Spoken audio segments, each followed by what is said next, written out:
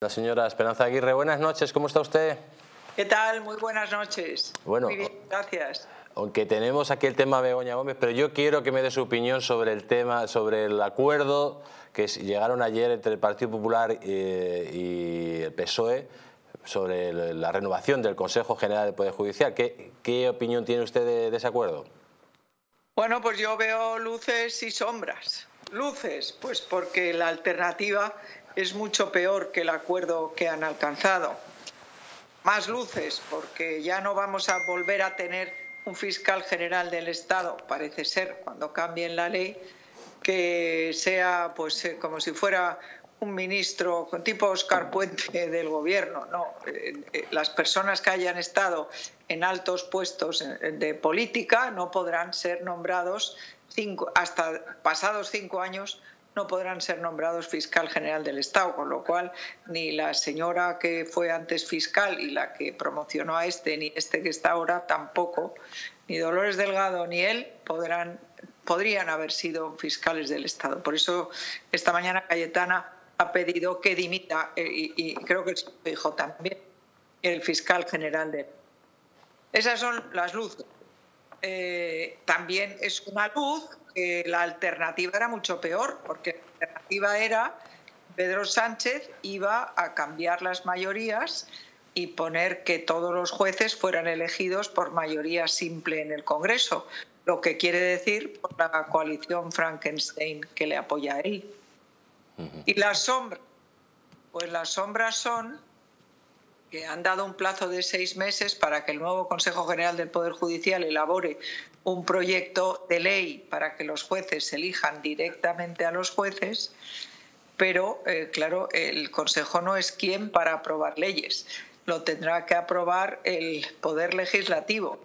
Y bueno, pues eh, ya oímos ayer a Pachi López decir que, bueno, ya veremos qué es lo que sale de las Cortes Generales. Eh, y ahora voy a preguntarle por el caso de Begoña Gómez y sobre todo el juez Peinado que está poniendo digamos, el asunto en el rescate de Europa. Eh, es muy fácil, además usted tiene formación jurídica, y es muy fácil hablar de tráfico de influencias, pero luego en un juicio es muy difícil demostrarlo. ¿Cree usted que el juez eh, Peinado podrá demostrar ese tráfico de influencias en el rescate de Europa? No, pero es que no tenemos por qué adelantar nada. Lo que ha pedido es a la SEPI que le dé el expediente de eh, cómo se ha gestionado ese rescate. Y lo que pasa es que el abogado de la señora Gómez, que resulta ser el señor Camacho, que era secretario de Estado de Interior, ha puesto un escrito diciendo que es intolerable que se trate de una investigación efectiva. Justamente en el mismo día en el que, en el, que el PSOE por un lado y Más Madrid por otro, que son los que llevan la acusación popular con el novio, que entonces no lo era, de Isabel Díaz Ayuso, dicen que, claro, que se investiguen no sé cuantísimos delitos. Eso sí que es investigación prospectiva.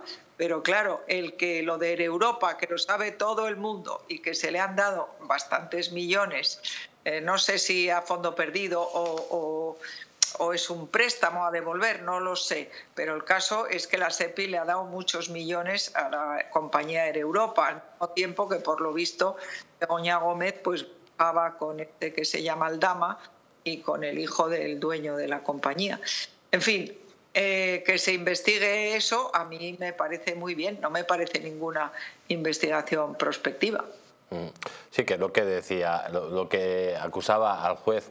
Eh, dentro de esa investigación, eh, acabamos de tener a uno de los abogados de, la, de, una de las acusaciones populares diciendo que el juez había digamos, unificado las acusaciones populares por medio de, de voz, que haría de portavoz, y nos ha, abierto, nos ha dicho o ha denunciado aquí que está vos actuando como tapón de esas acusaciones eh, populares, situándose eh, del lado del, abogado de Begoña Gómez y del fiscal. Eh, si esto es así... El fiscal no creo. Ah, Vox está del lado del fiscal y, y del... Sí, acusaciones, ¿no dice que estaban taponando? Sí, estaba taponando, digamos, a que las acusaciones populares pues remitieran escritos, lanzaran investigaciones y, digamos, la postura de, tanto del fiscal como del abogado de Begoña Gómez empieza a coincidir con la de Bosch. Y Bosch, claro, digamos, es el portavoz en esa acusación popular de todas las demás acusaciones eh, populares. De hecho, el abogado de Bosch ni siquiera coge el teléfono al resto de las acusaciones populares. Pero a ver, que no sé si yo lo estoy entendiendo mal, pero lo que parece que está usted diciendo es que el abogado de Vox, que ejerce de portavoz de la acusación popular, está de acuerdo con el fiscal y con Begoña Gómez a través de su abogado. Exactamente, eso es lo que acaba de denunciar uno de los abogados de la acusación popular. Pero no lo denunciaría. Lo que estará denunciando es lo contrario que, porque el fiscal y el abogado de Begoña Gómez quieren lo mismo que el PSOE y que Más Madrid. Será lo contrario. Si dice que está taponando, lo que estará haciendo es lo contrario, creo yo. No, no, no. No, no, no. Está taponando la investigación de Begoña Está taponando a las acusaciones populares del PSOE y de Más Madrid y poniéndose del lado del fiscal y del abogado de Begoña Gómez. Eso es. Exactamente. Pues entonces no tapona nada, porque el PSOE está totalmente de acuerdo con el fiscal y con Begoña Gómez. Pues doña, Esperanza, muchísimas gracias por haber estado con nosotros. Vale, vale, pero aclare eso, porque... No, es que estamos hablando... Eh, más Madrid y el PSOE no está como acusación popular en el caso Begoña Gómez. Ah, puede ser. Claro. ¿Cómo que están? Eh, no están. O sea, la acusación popular está, eh, por ejemplo, hazte oír, manos limpias, está, por ejemplo, vos, etcétera. ¿Y qué es lo que están taponando entonces? Entonces el juez ha acogido y, ha, unificado, digamos, la acusación popular con, con, un portavoz que es vos, donde todo se tiene que canalizar por medio de vos. Pero como los demás son afines a Vox, ¿no? Hace oír y compañía. O, sí, pero al parecer no, no, hay ninguna comunicación y está taponando todas las, todo lo que está pidiendo el resto de las acusaciones populares. Ah, ya, ya, ahora lo entiendo, ahora lo entiendo. Tiene usted mucha razón. Muy bien, pues buenas noches y gracias por tenerme. Muchísimas gracias a usted, doña Esperanza. Cuídese mucho.